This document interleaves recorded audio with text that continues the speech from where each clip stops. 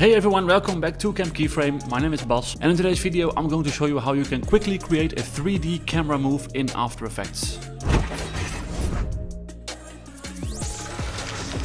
So for this example I have these three uh, illustrations here of these kind of toolbars kind of thing, I don't know. And uh, they're just three 2D layers. So first off, I'm going to make them 3D by clicking on this little 3D box here. So now they are 3D. And as you can see here, we get these nice handles and zoom in here and I can uh, grab this one and uh, turn it around but I can also grab this one and then you can see that it's going to turn 3D like that. Alright so uh, first let's go back to 100 uh, I'm gonna click on one view here I'm gonna click on two views. So now it divides my screen into two views. So I have my normal uh, viewfinder here and this one is looking at this stuff from above directly above. So if, as you can see as I select uh, the top one here let's zoom in on this one and if I take this arrow and move it into Z space which is going uh, back then you can see on the right screen there that it's uh, going further away, it's getting smaller.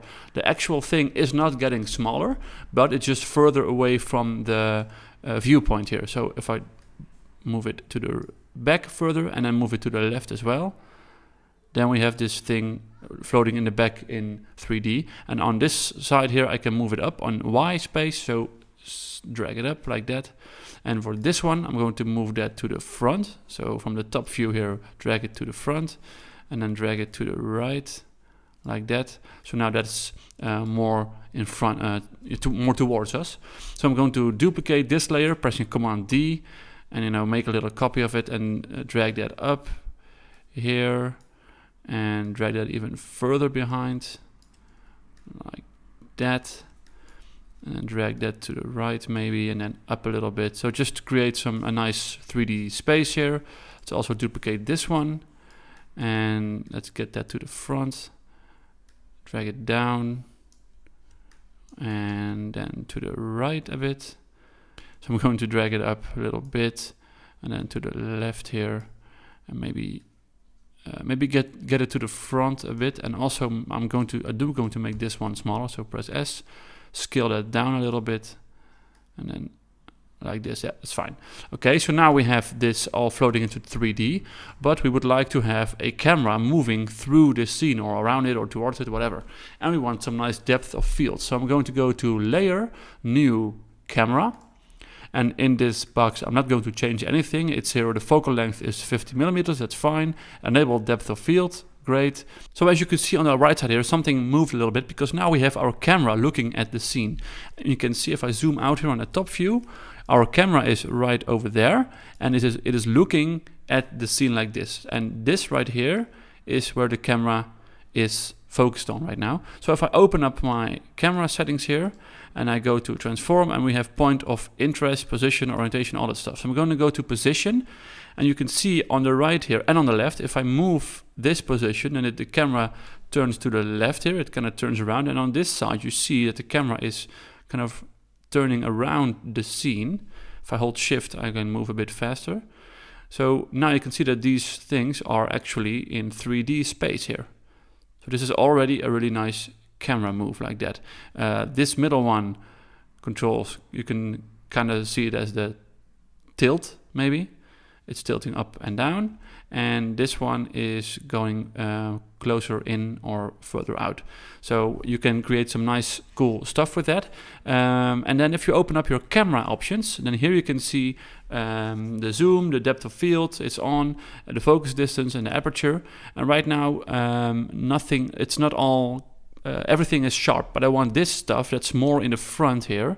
I want that to be more um, out of focus. I want this to be in focus. So if I go to my aperture here and I just drag that up a whole lot, you can see that the stuff that is not at where this line is, that's where it's uh, not focused anymore. So this one is still in focus. And if I go to my focus distance, if you can, if you change that, you can see that we have this little uh, extra line here um, you know, getting backwards. So if you drag that backwards, and I'm going to uh, put the line on this shape here, so that's this one, you can see that this one will be in focus.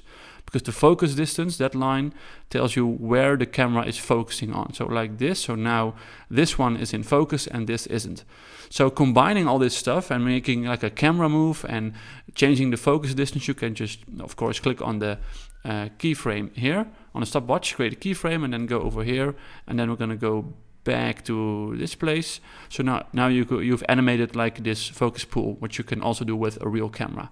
And let's also do a position here. Let's start over there.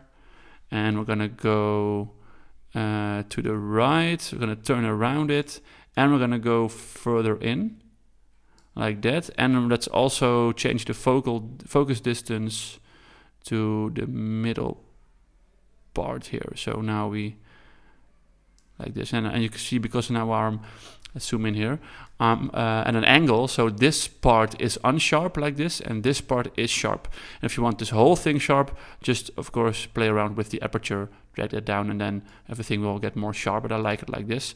So now I've created this camera move where this thing is in focus and go inwards and then it stops here and then this little part here becomes in focus. And you can uh, of course play around with that and maybe put the focus on here uh, also on this little on this thing. So now this one stays in focus so you have an actual focus puller on set with you. Oh and then um, whoops and I need to change the the keyframe here of course as well like that so that's a really cool and easy way to create some nice uh, 3D animations with just only 2D layers, which you have turned 3D, but it's not that crazy. Uh, here I've made a different scene with a lot more uh, stuff. You can see all of these blue layers here are these uh, little windows, and we have I've added these three arrows in between here.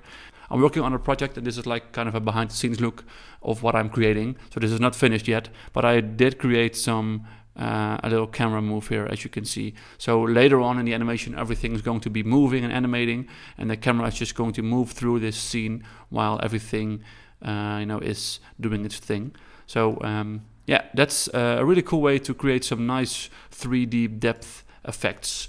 Uh, that's it for this one. Thank you guys for watching. If you like this video, please give it a thumbs up uh, or even consider subscribing to the Camp Keyframe YouTube channel to get updates on new videos when I upload them. And uh, I want to thank you guys for watching this video and I hope to see you on the next one.